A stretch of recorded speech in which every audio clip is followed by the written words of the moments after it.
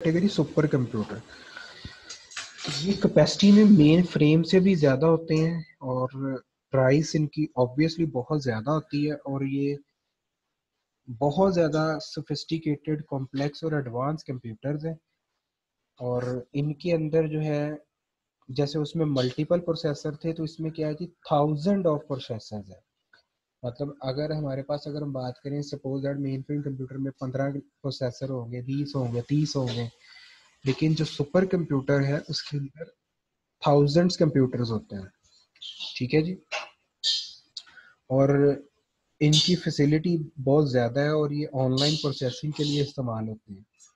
ये कुछ मॉडल्स बताए हुए हैं इन्होंने। और सुपर कंप्यूटर कहाँ पे यूज़ होते हैं जी? वेदर प्रडिक्शन के लिए वेपन डिज़ाइन के लिए केमिकल और बायोलॉजिकल सिस्टम मतलब साइंटिफिक और रिसर्च इंस्टीट्यूट्स जो बड़े बड़े इंस्टीट्यूट्स हैं, जो बड़े बड़े काम करते हैं, वहाँ पर ये चीज़ें इस्तेमाल होती हैं। जैसे हमारे पास पाकिस्तान में अगर देखें, ये नीचे लिखा एयरक्राफ्ट मैन्युफैक्चरिंग है। और गवर्नमेंट सुपर कंप्यूटर्स को कहाँ पे यूज़ करते हैं? जैसे बड़ी बड़ी कैलकुलेशंस करनी है, कि ये जो रेडार वगैरह हैं ऐसी जगहों पे ये सिस्टम यूज़ होते हैं और हॉलीवुड मूवीज़ के अंदर इनको एनिमेशन के लिए इस्तेमाल किया जाता है।